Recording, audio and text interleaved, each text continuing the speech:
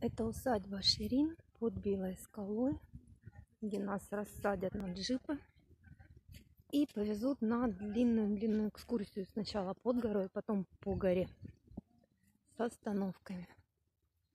И здесь же потом мы остановимся на обед. Сказали, накормят, накормят очень вкусным пловом. Лошадки пасутся. Ой, как тут хорошо. Тут прям Сделайте своей маме замечание, чтобы она не снимала во время движения.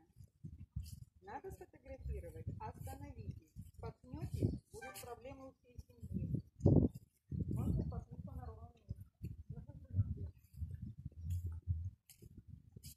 беседки стоят красивые.